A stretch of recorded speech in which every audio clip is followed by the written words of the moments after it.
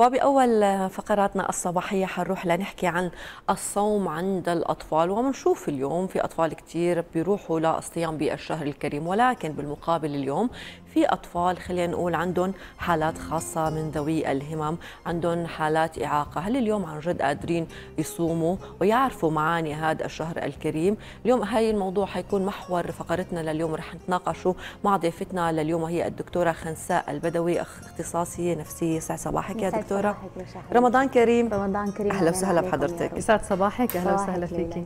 طبعا نحن بنعرف أنه ذوي الاحتياجات الخاصة دائما هن بشكل عام وبالأيام الطبيعية لهم اهتمام معين لهم اهتمام مضاعف. عن غيرهم من الأطفال. لكن اليوم أنا شو هي الحالات اللي فيني أشرح فيها؟ كيف فيني أشرح لهم شو يعني الصيام لهدول الأطفال؟ تمام. هلأ نحن بس نقول اطفال من ذوي الهمم أو ذوي الاحتياجات الخاصة. معناتها نحن هون عم نميز خلينا نقول فئة الطفوله عن فئة أخرى. اليوم نحن أطفال عندهم قدرات خاصة هالة خاصة نوعية خاصة من الأداء المجتمعي. بس ما فينا ننكر أبدا أنه هن النسيج الاجتماعي والأسري. اليوم هن ممكن يكونوا من نسيج أسري يعني هن موجود موجودين بعائلة ضمن أب وأم وأخوة. ممكن ينفرد هذا الطفل أو هي الطفلة بنوعية خاصة من الأداء. إنما هو من حقه يعيش تفاصيل رمضان أو الشهر الكريم بأسلوبه الخاص. اليوم كثير أشخاص بتتطرق لموضوع إنه يا ترى أنا هذا الطفل قادر عمم له مفهوم رمضان قادر فهمه شو رمضان. نحن طبعا بنقول دائما المجتمع لديه فروق فردية. هي الفروق نحن يجب مراعاتها. فما بالك وقت نقول عن أطفال من ذوي الهمم. هن الفروق الفردية بحالاتها الخاصة. اليوم أنا إذا بدي أشرح موضوع الصيام ما راح أقول له إنه هو بدل على الصبر وفي صلاة وفي طقوس عبادة و إلى آخره. لا لأنه هو ما راح يعرف ممكن مفهوم صيام شو هو. ما راح يعرف شو يعني صبر ما راح يعرف شو يعني صلاة. ما راح يعرف شو يعني مناسك صيام. إنما ممكن عمم له إياه بفوائد يعني بسيطة بإنه هو يشارك باللمسات الرمضانية يقوم ببعض الأشياء يلي فيها خصوصية لرمضان. نعم. طيب هون ذكرتي نقطة كثير مهمة. نحن عم نحكي اليوم عن مفاهيم رمضانية تربينا عليها والمقابل في اليوم حالات خاصة. في أطفال خلينا نقول داون في توحد في تأخر نطق في تأخر عقلي في مشكلة بأدماغ اليوم انت قدام حاله جدا خاصة. اليوم لنقدر نعمم هدول المفاهيم نحن بحاجة لاساليب جدا بسيطة. تماما. تنزلي ل خلينا الفروق اللي عند هذا الطفل. تسايريه بمجرى تفكيره كيف هو قاعد قادر يفكر. في نشاطات في أساليب اليوم أنتم حضرتكم عم تتبعوها لحتى تعرفوه بالشهر الكريم. هلا نحن ذكرتي أنواع عدة للأطفال، اليوم نحن بنقول نستثني من كل ما ذكرتي من آلية الصيام الاعاقات الشديدة يلي هي تخرج عن إطار أي أي منظومة تعليمية يلي هو دائما متشبث بالأداء الذاتي تبعه، خلص هو ما بيتحرك ما ما عنده قدرات، عنده خلينا نقول هالة شديدة من الحركة أو الغضب أو أو إلى آخره كمان.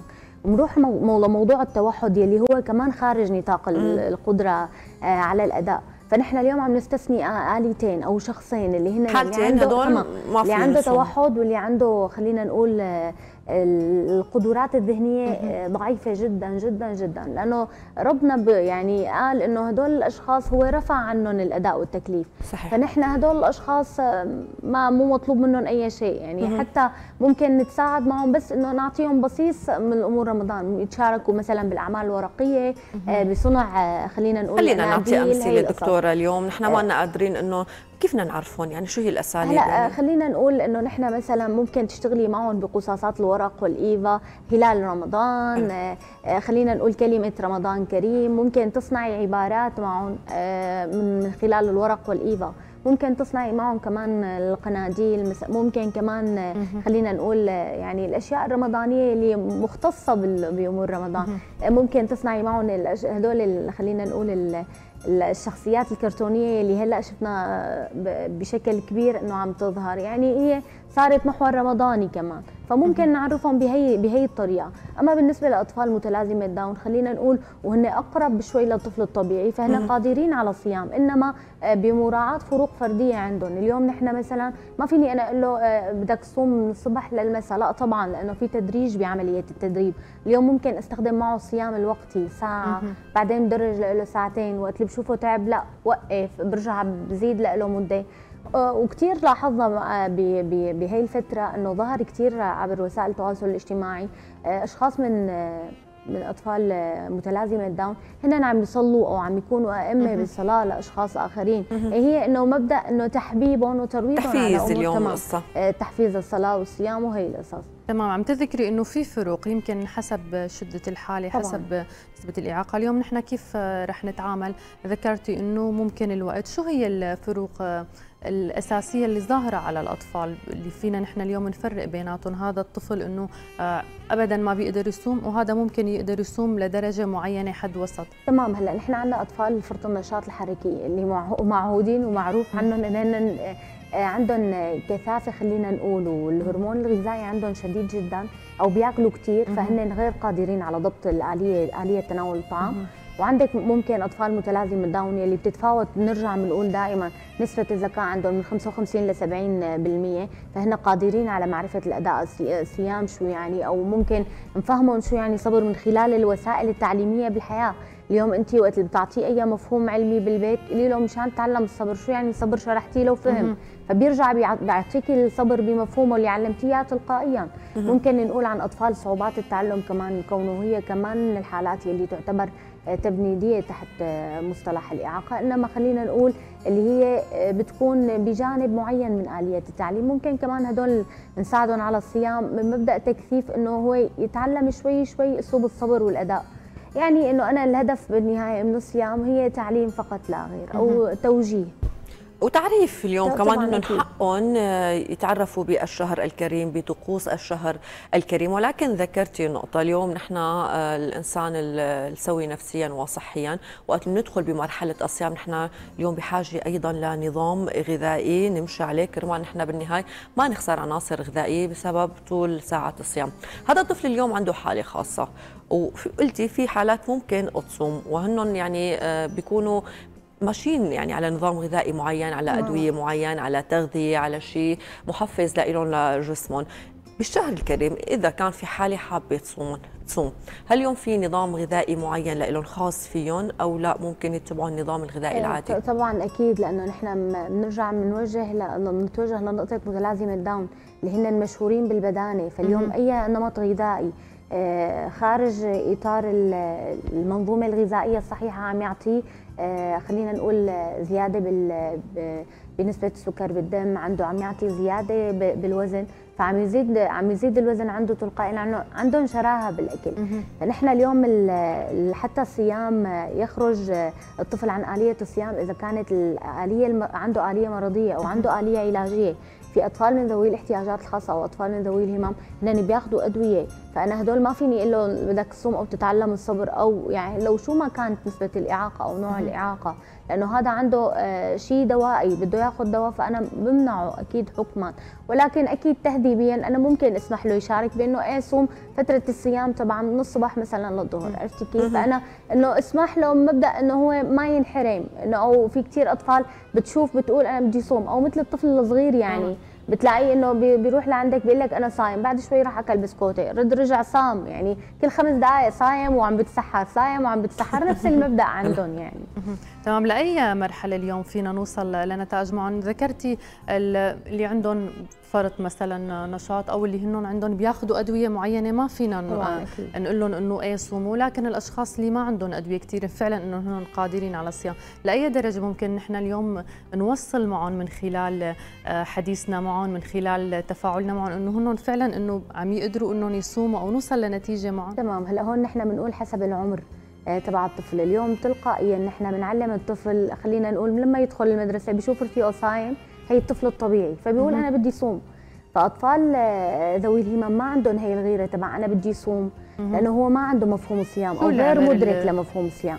إنما من خلال إنه أنا عم شوف أشياء عم تتصنف قدامي أو تمام. تصنع قدامي أو عم شوف هلال برا أو عم شوف آه، خلينا نقول آه، آليات رمضان برا فبيقول إنه أنا بدي بدي صوم. طب أنت يعني شو الصيام؟ فهو ما بيعرف. في أطفال من من ذوي الهمم بتفكر إنه رمضان هو رجل يعني جايد الابواب وإلى آخره. فما بتعرف إنه رمضان هو كمان شهر عبادة وطقوس عبادية. فأنت هون أنت المنحة التعليمية اللي بتعطيها. هلا نحن دائما بنقول التوضيح لهم بيكون على حسب القدرات تبعهم. اليوم كثير صعب تفهمي طفل من ذوي الهمم إنه شهر رمضان هو في صلاة وهو ما بيعرف شو يعني صلاة. أو القدرة العقلية تبعه هي لحد الآن أنت عم تشتغلي معه بالتفاحة والبرتقالة والليمونة والجزرة تمام؟ أو عم تشتغلي معه بكاسة ومعلقة وصحن. فهدول الأطفال أنت عم تشتغلي معهم تدريجيا على تفهيم هي خلينا نقول يعني مفاهيم, مفاهيم أو هي القدرات. فنحن شوي شوي بنبلش بنعمم حسب الآلية العمرية. اليوم بس نوصل أكيد لعمر ال 15 عند أطفال متلازمة داون أو خلينا نقول نقص الأكسجة أو التوحد أو أي نوع من أنواع الإعاقات. فأنت هون تلقائيا بلش يتعلم أو بلش يعرف.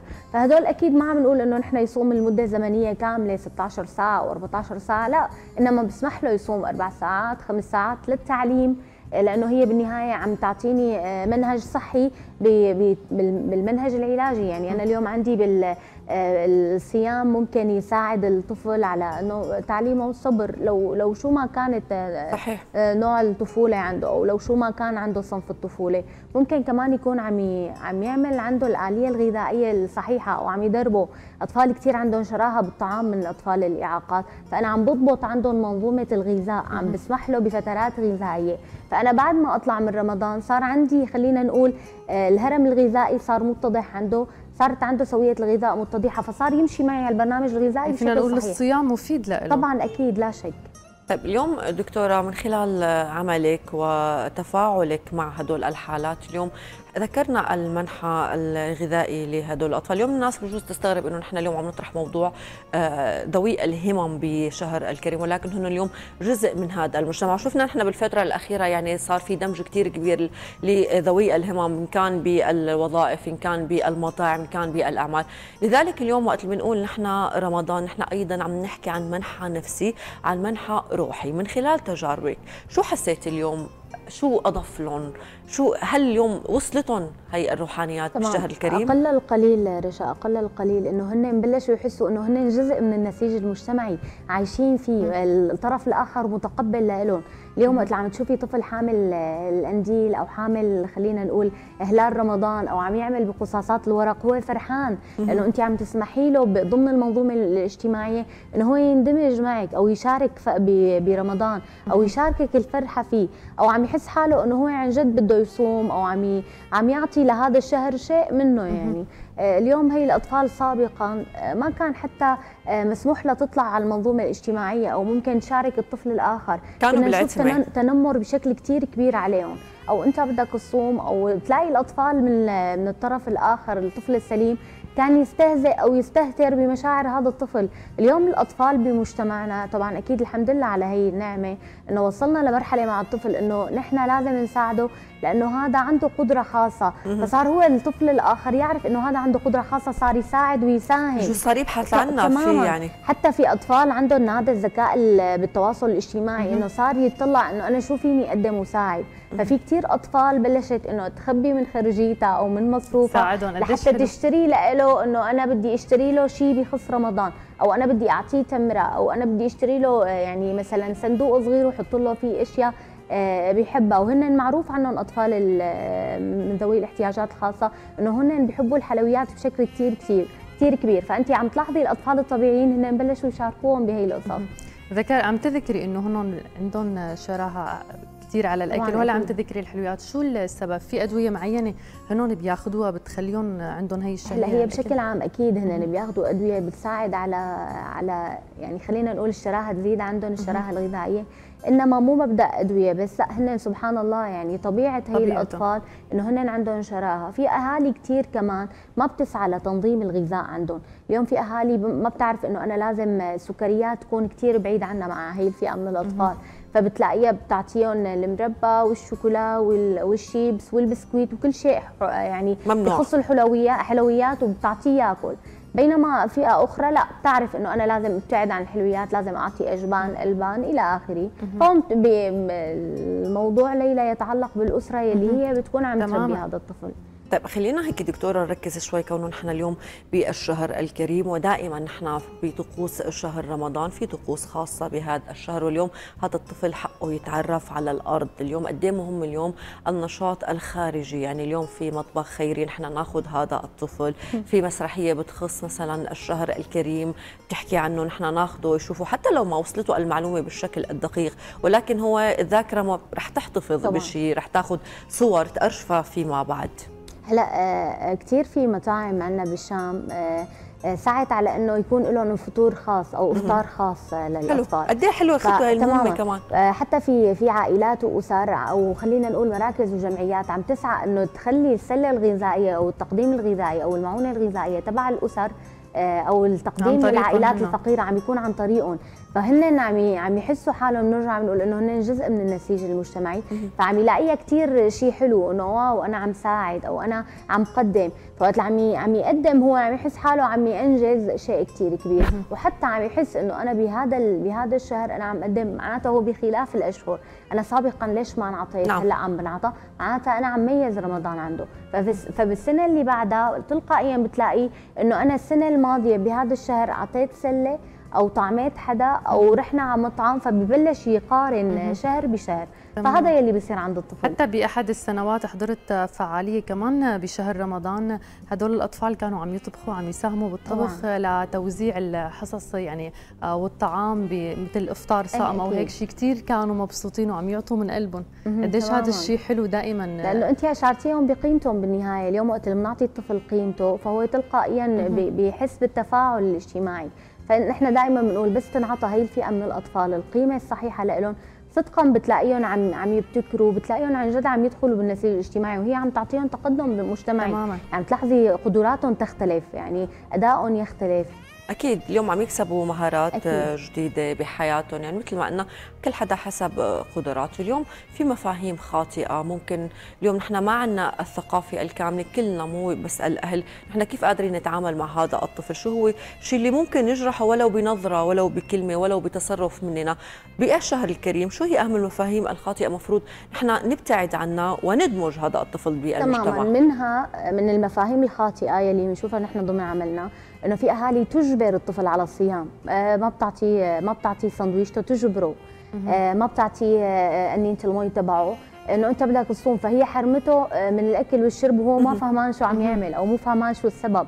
بس فهم إنه هو ما أخذ سندويشته وكاسه المي تبعه أو انينته أو إلى آخره. فهذا الطفل ما فهم شو شو مفهوم الصيام أو شو الهدف من عدم إطعامه أو إعطائه ماء فأنت عم هون أنت عم عم تستغليه آه، بطاقة غير الطاقة اللي هو بيفهمها. النقطة الثانية اللي بنشوفها هي ممارسة الضرب عليهم. حتى في أهالي أو خلينا نقول بعض الأسر آه، بتتمارس معهم أسلوب القمع أو الإقصار تبع إنه أنت لازم تصوم مثلك مثل أخوك. هون نحن بنرجع بنقول إنه أنا لازم راعي فروق فردية عند هي حتى هذا الأسلوب مع الأطفال السويين غلط. طبعا أكيد لأنه هي بالنهاية ما إجبار ما الصيام مو إكراه انما تحبيب. تماما. أكيد دكتورة بدنا نتشكرك على هالمعلومات اللي قدمتي لنا إياها ونتمنى لك وللمشاهدين رمضان كريم وشهر خير وبركة عليك رمضان علينا وعليكم يا رب شكرا دكتورة خنساء لحضورك اليوم. آه، يومك حلو هيك إن شاء الله أفطاركم يكون شهي. دائما نحن بنحب وجبه الأفطار لأنه بتجمعنا مع الناس اللي بنحبها. رمضان كريم عليك